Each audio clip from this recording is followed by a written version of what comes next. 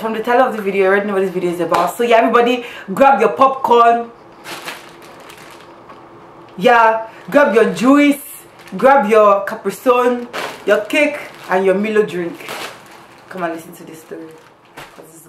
Now you be my honey, Joanna. I said you are my baby, Joanna. Now wait till you carry, Joanna. Me, I want to. Story time is one of the major reasons why I'm always scared to even go back to Nigeria because I don't even know. I don't even know. it's just very scary, you know what I mean? Yeah. In 2013, I remember because that's the year that they traumatized me. Lagos boys traumatized me and my family members, all of us. Yeah. I want to tell you how. this fateful, wonderful Monday evening, we went for an all night in church yeah my mom being a spirit coco she's like oh let's all go for the all night you know let's go and praise god let's go and thank god for everything he has done for us all of us we followed we went. So after the um after the all night after everything happened after we praised god and you know stuff like that she's like oh let's leave early because of traffic. You know the way lagos traffic is. You know what i mean? So and then it was understandable because um my church is located at Ilupe, at Ilupeju, Lagos, Nigeria. I don't know um if it's still located there. But when i was in nigeria that was where it was located. I go to the fountain of life church that's where i go to when i'm in nigeria.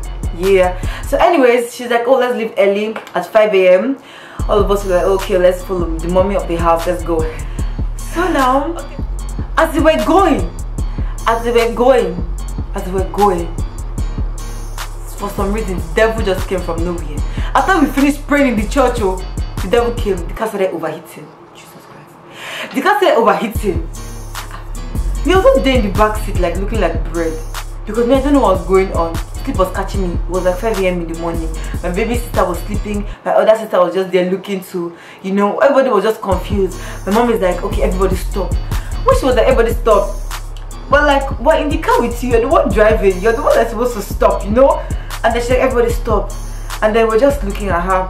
And then she's like, oh, okay, okay, okay that she doesn't know what to do um that the car is overheating Oh, of us we're already, already seeing what's going on oh, but you know pressure and everything.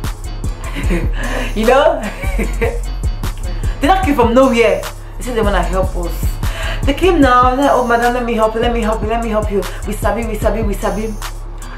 Okay now me i was happy small only small shy because they did not look like they knew what they were doing. But you know when in times of emergencies you have to like let people in and you know yeah just let them help you and stuff like that so now um, then i went to the bonnet side they opened the bonnet. And then as we are coming to like coming towards us because us were standing behind the cars we're coming towards us then that, that came be gone. I was like wait i thought you wanted to help us. In my head though and not sit down. You don't know. You don't know why it's going on. Can you try to shoot us?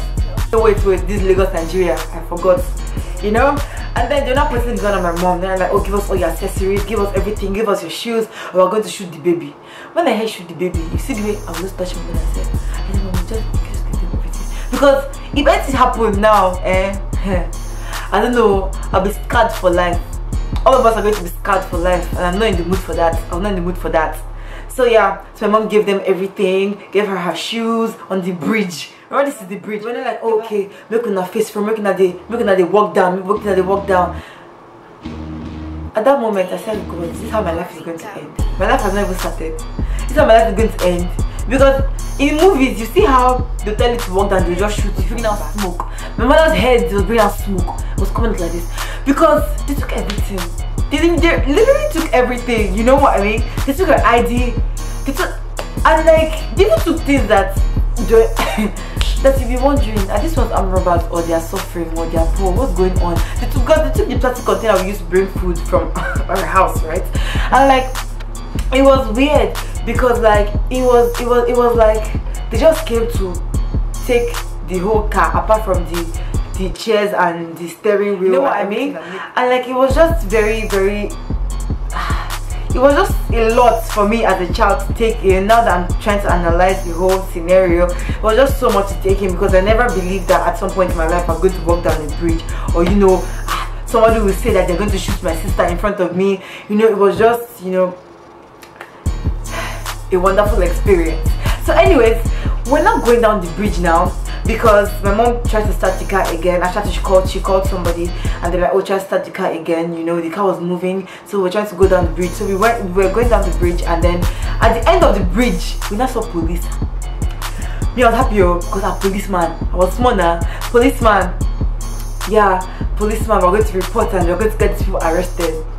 My mom now went to the policeman now. Was not like that oh they, we just got robbed. They took everything. They took our id they took this one this one this one this one and then this policeman this policeman opened his mouth said that he's gonna call them. I remember very well because me I was in the back and I remember me sticking my head out of my mother's back to, to like what did this man just say?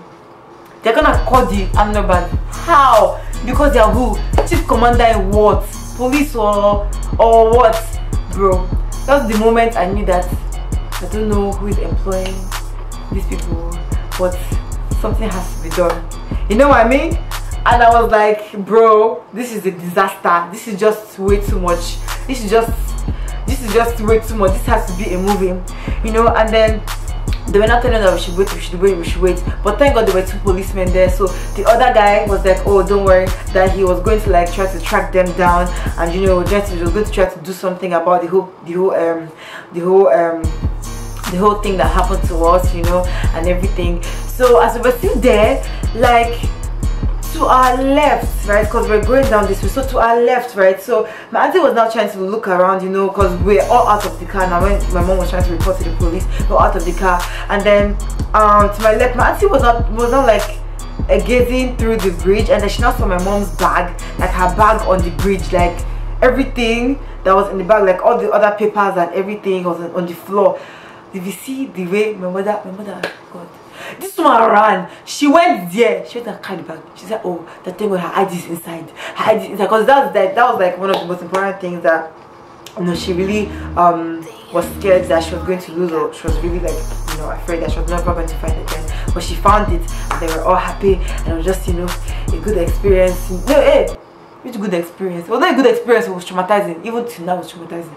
So yeah, so that's what happened to me. And like, you know, like through all through all of that through that whole thing the worst thing like the worst part of the story was when i had to walk down the bridge i said i walked down the bridge people were looking at us like i was afraid i was scared i don't know what was going to happen i was praying for my life i was asking god for forgiveness because if god forbid they shot me at that moment my head did adjust i don't know i would have got hellfire.